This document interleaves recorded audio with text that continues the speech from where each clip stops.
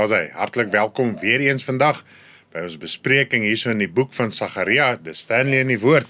En ek gaan vandag voort met uh hoofstuk 11 in die boek van Sagaria. Nou van hier af is die interessante gedeelte, dis die lekker gedeeltes. Ons het nou so 'n hele paar programme gedoen. Ons het op baie interessanthede afgekom en baie van dit wat ons behandel het tot dusver was 'n fondasie wat ons nou gaan kry hier van Sagaria 11, 12, 13 en 14. So glo van hier af gaan dit nog meer interessant wees as wat ons tot dusver nog behandel het. Nou wat ek gaan doen, ek gaan hierso in hierdie hoofstukke lees. Ehm um, die hoofstukke is nie baie lank nie. Ek gaan deurlees, dan gaan ek terugverwys want dit is belangrik in hierdie konteks om sekere dinge te verstaan en te weet vir alles wat kom by die dag. Onthou ek het vir in die begin gesê in Sagaria praat hy baie van die dag. Nou die dag gaan nie oor 'n letterlike 24 uur dag nie. Dit gaan oor 'n tydvak van gebeurte of 'n tydperk van gebeurtenisse.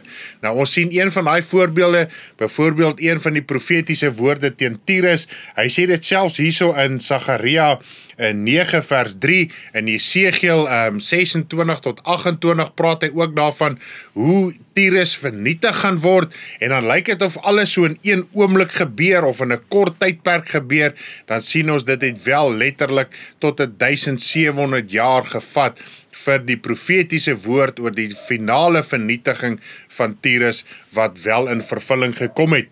Nou ja, wanneer ons na hierdie dinge kyk en dan raak die woord van die Here vir ons so interessant en soos wat ek vir julle gesê het, die groot saak is ons moet as kinders van die Here moet ons die Nuwe Testament lees deur die vryheid van die Here Jesus Christus en dis wat Paulus vir ons skryf daar in 2 Korintiërs 3.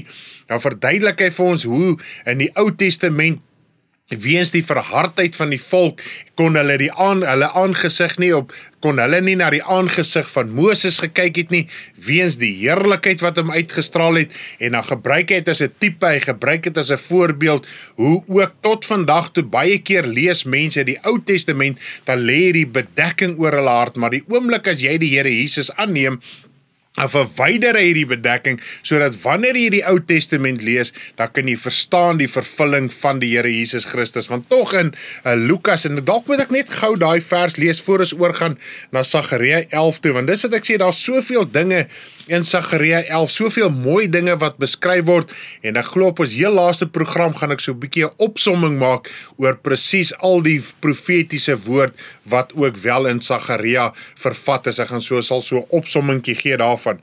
Maar as ons kyk hier in Lukas 24, dis natuurlik nadat al Jesus gesterf het en hy het opgestaan uit die dode, maar hy het nog nie opgevaar nie het hy uh, op 'n stadium was daar twee persone dit staan bekend as die Emmausgangers is hierdie twee manne wat gestap het en Jesus sê wat het hulle langs die pad gekry nadat hy opgestaan het en hy het met hulle begin praat en hy het saam met hulle aan huis gegaan En ehm um, ek lees gou vir ons hierso so ehm um, kom ons kyk gou hierso so van vers 36 af.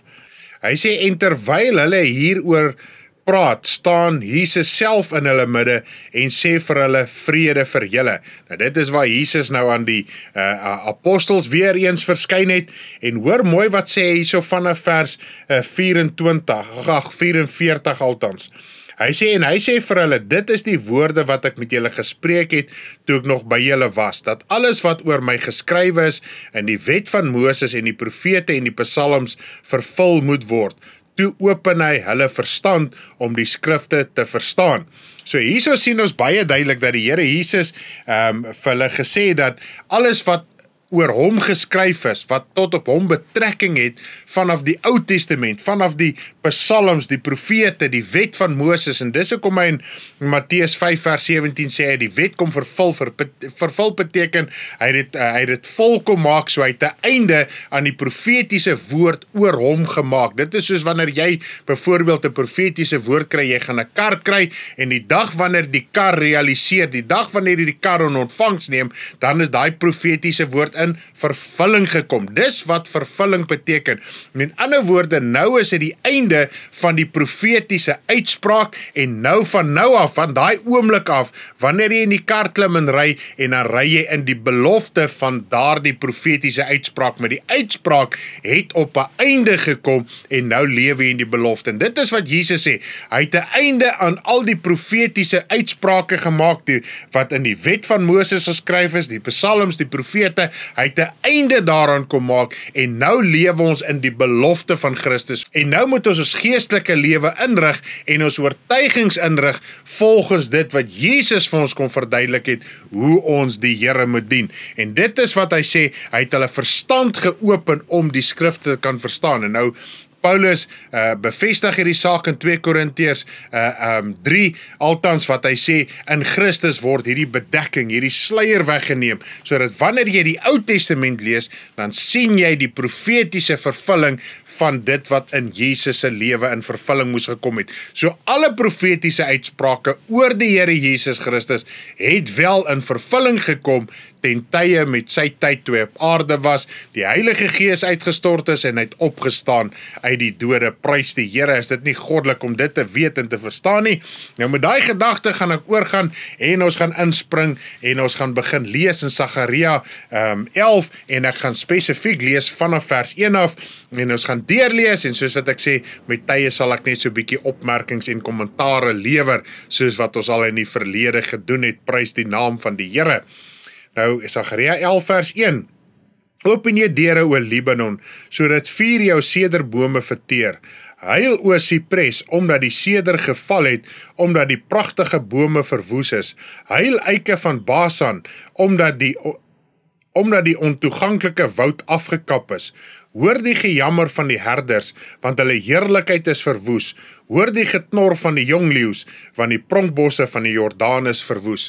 So Jesus sien ons baie duidelik as hy praat van hierdie bome en die Here Jesus, uh, hy het ook gepraat dat ons is soos 'n boom wat moet vrug oplewer en uh, wanneer ons vrug oplewer, dan sal die voëls van die hemel kom nes maak in ons takke en die tipe van ding. So ons word baie vergelyk met 'n boom ook, ook op die een plek waar hy die blinde man genees het die eerste keer toe die blinde man toe vra toe vra die Here hier's van wat sien jy?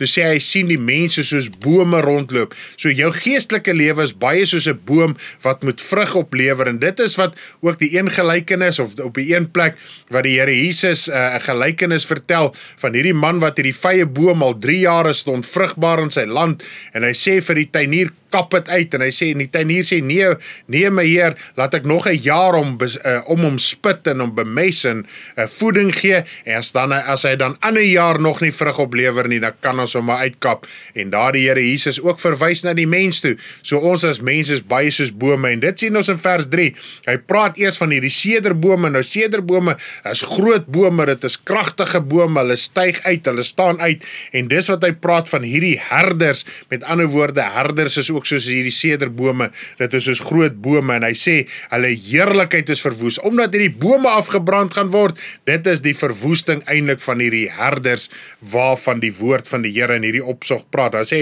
hoor die geknor van die jong leeu's van die pronkbosse van die Jordaan is verwoes. Halleluja. So as ons kyk, as ons daarna kyk, kyk selfs as ons kyk nou in die boek van Openbaring praat hy ook baie van die groen bome, uh moenie vernietig word nie en moenie aangeraak word nie ensovoorts. Dan praat hy daar van mense en siele. Hy praat van daar van die fisiese mense, sekere mense wat nie uh um wat nie skade moet ly in sekere tydvakke van die eindtyd nie. Maar nietemin, kom ons lees vanaf vers 4. So sê die Here my God: Wees herder van die slagskape. Hulle kopers maak hulle dood sonder om skuldig te voel. Hulle verkopers sê: Geloofd sy die Here, ek word ryk en hulle herders het geen medelyde met hulle nie.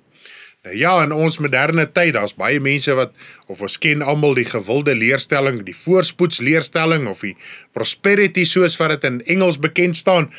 En nou ons dink is 'n nuwe leerstelling, maar as ons kyk hierso in Sagaria, alreeds in die Ou Testament van die vroegste tye van godsdiens af, het mense al gesê geloof sy die Here ek word ryk. Nou ek weet nie of jy kan onthou nie, ons het vroeër ook in Sagaria gepraat wat hy praat ook van hierdie koophandels, die kopers en die verkopers. Nou kom hy hierso en hy praat baie duidelik, hierdie verkopers en hierdie kopers, hulle wat hulle self besig hou met koophandel, gaan oor mense siele. Dit gaan oor hierdie slagskape en dit is wat Esegiel uh, 34 ook praat van uh, die slegte herders. Daar hy praat hy ook 'n profetiese woord oor die slegte herders wat nie omgee oor die skape wat op die berge lê en wat verwoes is en wat lê en bloei en daai tipe van ding nie. En hier sien ons baie duidelik uh, daar is siele wat uitverkoop word ter wille van geld, ter wille van die herder se voorspoed, ter wille van die herder se rykdom. Nou Paulus skryf op 'n paar geleenthede daar vir ons wat hy vir ons sê dat daar is mense wat die evangelie verkondig ter wille van hulle self ter wille van hulle eie buik. Nou ons lees ook selfs hierso in In 2 Korintiërs 2 vers 17 sê Paulus vir ons, daar's mense wat handel dryf met die woord en dan praat hy ook in 1 Timoteus 6 vers 5 wat mense wat dink dat die evangelie is winsgewend en mense wat so dink word van die waarheid beroof. Nou ook as ons kyk na die hoervrou Babylon in um, Openbaring 17 en 18, dan sien ons ook wat die woord van die Here daar sê, hoe mense siele en selfs die siele van profete, die bloed van die profete en die heiliges is in haar gevind. Dit lees ons nou in Openbaring 18 vers 24. En die bloed van profete en heiliges is in haar gevind en van almal wat op die aarde gedood is. Nou u is meer as welkom om deur te lees in vers 23 praat hy van die handelaars, die grootes van die aarde, aarde wat deur haar towerlei mislei word en gedurig deur in vers 13 praat hy ook van hierdie mense siele wat sy kom uh, uh, uh, um, wat in haar gevind is wat sy kom doodmaak het en daai tipe van ding. Nou hierso sien ons dit baie duidelik dat die herders gebruik finansies, hulle gebruik geld wat hulle ter wille van hulle self, hulle suig mense leeg, hulle maak mense leeg en dan staan hulle op die platforms in die tyd waaron ons in lewe en hulle sê geloof sy die Here, kyk hoe goed is die Here vir my, kyk my kragtige geloof, kyk hoe sterk is my geloof, want kyk al my rykdom en my weelde wat ek al versamel het. En hulle is besig om vir mense te preek sonder om om te gee of daai siele wat hulle bedien werklik waar nood en behoefte het. En dan praat ek nie net van materiële behoeftes nie.